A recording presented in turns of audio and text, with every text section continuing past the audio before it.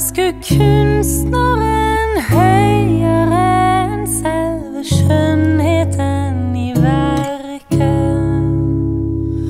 Og ane tyngden innefra som får skulpturen til å stå selvstendig.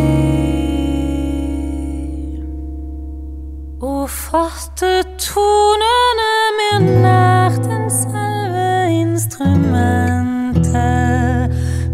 klangen. Og elske musikerens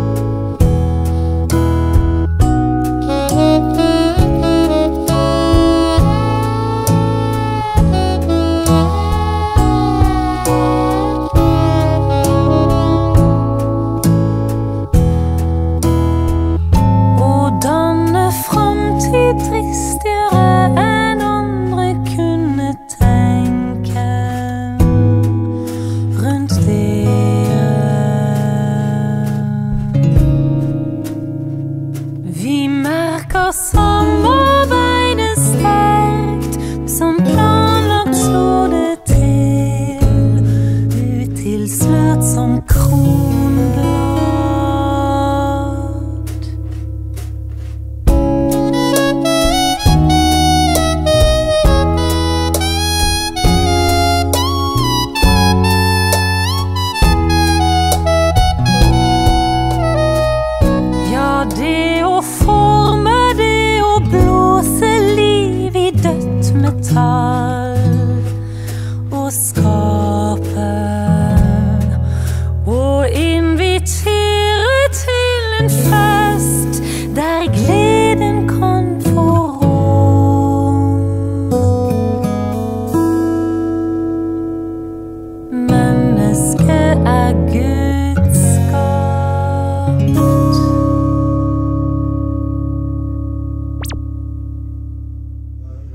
O sea, minsan, I'm in Gigolo.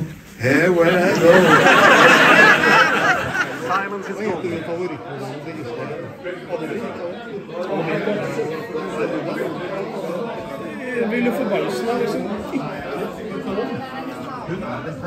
Vill du?